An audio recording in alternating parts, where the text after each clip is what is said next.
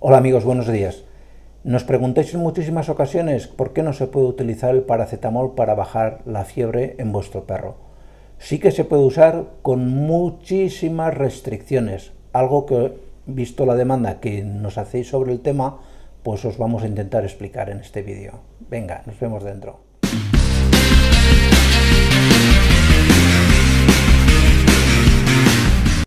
Hay una cosa que debéis tener muy muy clara. El paracetamol es tóxico para perros y para gatos. Para gatos muchísimo más. En el caso de los gatos no hablaríamos de este tema.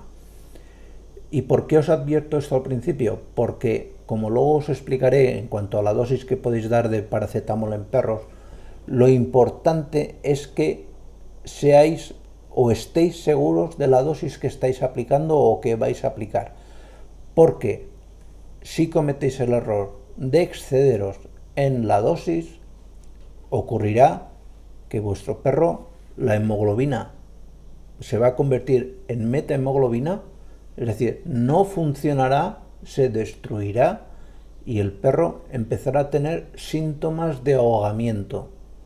Es una intoxicación que es muy muy difícil de tratar, muy difícil y que Caso de producirse porque os habéis excedido con el paracetamol, porque lo más normal es pensar, pues mira, yo tengo una pastilla, pues se la doy al perro. Ni se os ocurra.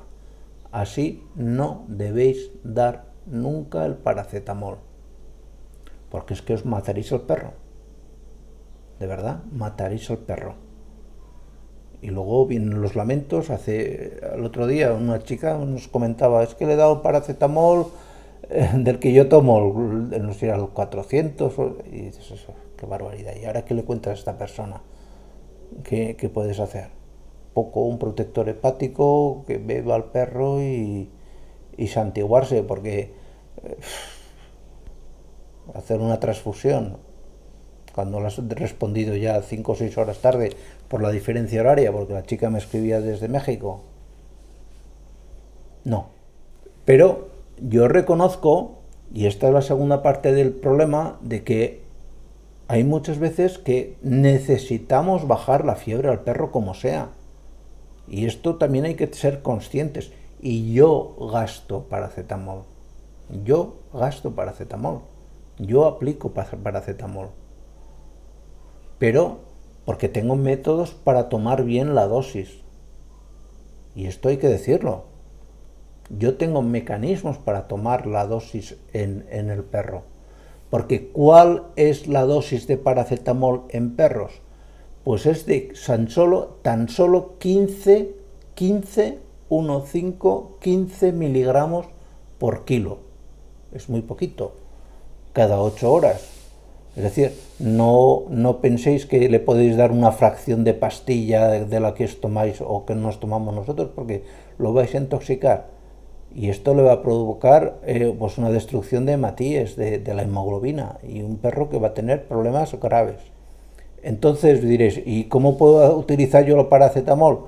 Pues la verdad, la única manera que si de verdad queréis, porque la fiebre es muy alta y hay que bajársela, estoy pensando, por ejemplo, eh, en un caso gravísimo de parvovirosis, que de verdad que el perro está, ha sangrado muchísimo y que tiene una fiebre brutal, pero brutal, y hay que bajársela, está por encima de los 40 y 40,5 grados, y hay que bajársela. En esos casos, pues sí que podéis hacer servir estos frascos que hay de, de, de paracetamol líquido, que se utilizan mucho en humana, es lo que se da a los niños para, bajarles la fiebre, porque además tienen una concentración adecuada y se dan en jeringa, que es mucho más fácil de medir. Y sobre todo, y ante la duda, si no sois capaces de medir 15, que no estáis seguros de lo que estáis tomando, poner la mitad. Más vale poner siete y medio y que no pase nada que ponerle 25. ¿Me entendéis lo que quiero decir, no? Debéis tener claro que podéis medir esa cantidad, porque si no la podéis medir, de verdad, no lo hagáis, no lo hagáis, no vale la pena. ¿Y qué otros tratamientos y qué otros medicamentos puedo hacer servir para bajar la fiebre en perro que no sea el, el paracetamol? Pues muy sencillo. Tenéis la dipirona. La dipirona baja la fiebre. Vamos a ver, no, no tiene la misma eficacia que el paracetamol. Vale, pero no tiene ningún problema de toxicidad. No os jugáis la vida del perro. ¿Me entendéis lo que quiero decir? La dipirona, el, el, famoso nolotil de humana, el metamizol, esto lo conocéis seguro y seguro que tenéis por casa además. Y si queréis saber la dosis y cómo se utiliza y cómo lo tenéis que hacer servir, aquí os pongo un vídeo explicándoos todo lo que tenéis que saber de la dipirona. Y, de verdad, está bastante bien explicado la dosis, en qué consiste, cómo se da, etcétera, etcétera. Y nada más, esto es lo que os quería comentar con este vídeo. Espero que, os haya sido de utilidad. Aquí os dejo un enlace para que nos sigáis en siguientes vídeos. Y aquí para, para aquí para que os suscribáis al canal y aquí para que veáis más vídeos. Nada más. Por favor, cuidaros mucho. Hasta luego.